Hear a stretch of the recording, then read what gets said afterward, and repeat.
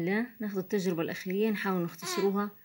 ناخذ جزئية بسيطة منها هو potentiometry أي قياس الجهد في حالة معايرة حامض وقاعدة.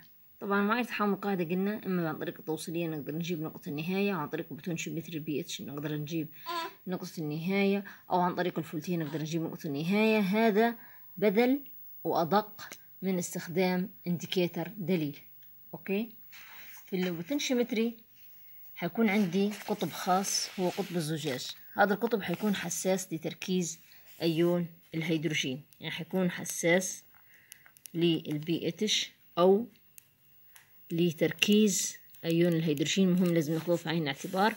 هذا القطب يسمى glass electrode. قطب الزجاج. طبعا قطب الزجاج حيكون متحسس يعني متخصص لقياس تركيز أيون الهيدروجين والبي إتش أو البي إتش. يعني البي إتش معروف إن البي إتش عبارة عن ناقص log تركيز الهيدروجين.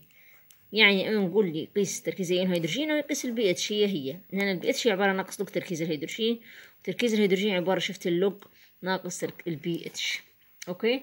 glass ال electrode بنعرف كيف حيكون يتحسس لأيونات الهيدروجين أو أيونات الهيدروجين اللي جاية من الحامض okay؟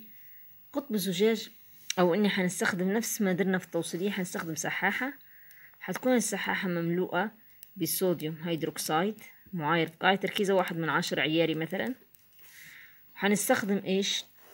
عشرة ملي حنحط عندي عشرة ملي في ال beaker بالماصة طبعا هذه بالسحاحة دي بالماص لازم أدوات أو glassware حتكون إيش؟ تعطي حجوم بدقة. مش مخبار أو غيرها تمام؟ عشرة ملي من حامض HCl بس التركيز العياري لهذا الحامض حيكون مجهول هو المراد إيجاده باستخدام الخاصية الفيزيائية هو ال potentiometry. okay؟ حنحط الإلكترود الخاص بجهاز البي إتش. أو خاص بقياس تركيز هذه طبعا هذا الإلكترود حيكون الجزء الحساس هو هذا. مش حيكون مغمور من قبل عشرة ملي من الحامض وبالتالي لازم نضيف لعند تقريبا البيكر لعند مية ملي من البيكر بحيث نضمن إن الجزء الحساس يتحسس لتركيز ايونات الهيدروجين الموجودة في المحلول يكون كله مغمور. الجزء الحساس عبارة عن شكل بصيلة بهذا الشكل يعني حيكون بهذا الشكل. تمام؟ هذا الجزء الحساس.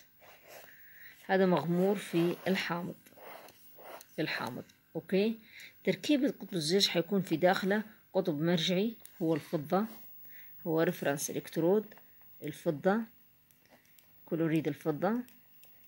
حيكون داخلة حامض HCl من ضمن تركيبة ال glass ال electrode. بغض النظر عن الحامض المجهول اللي موجود في ال beaker في حامض داخل تركيبة الإلكترود وحامض HCl بتركيز تقريبا واحد من عشرة مولر أو عياري. تمام؟ والقطب نفسه حيتكون الجدار الخارجي أو الجزء البصيلي حيتكون من ثلاث طبقات. طبقة داخلية متميئة متميئة يعني مبللة من قبل الحامض الموجود حامض إلى تركيز واحد من عشرة موجود داخل تركيبة الإلكترود وعندي طبقة جافة هذه هي. هذه عندي wet layer الداخلية مبللة عن طريق حامض المعلوم التركيز. وعندي هذه الطبقة هذه الطبقة هذه الطبقة الثانية الوسطانية اللي تقع ما بين الطبقتين المبللات في طبقة dry layer طبقة جافة.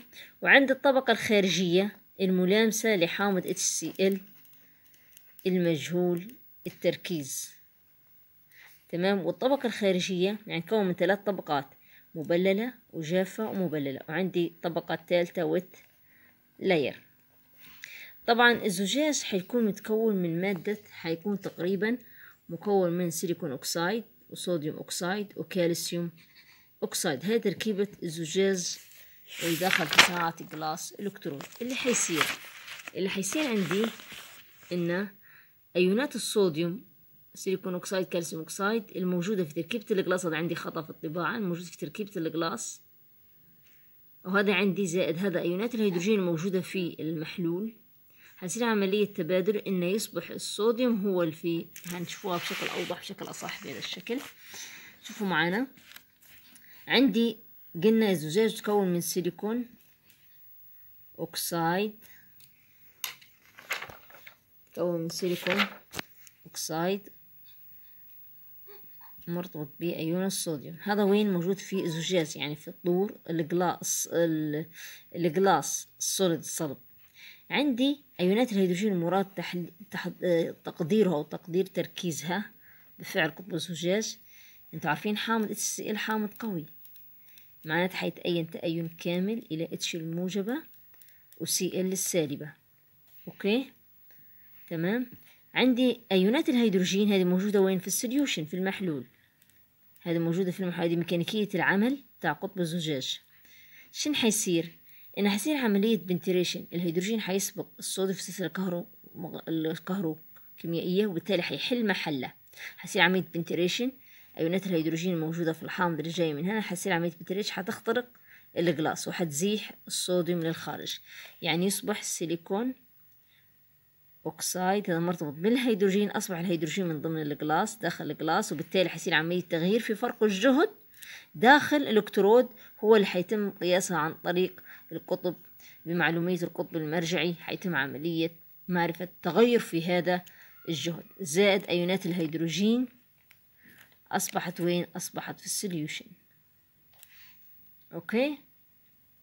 هذه ميكانيكية عمل قطب الزجاج بكل سهولة.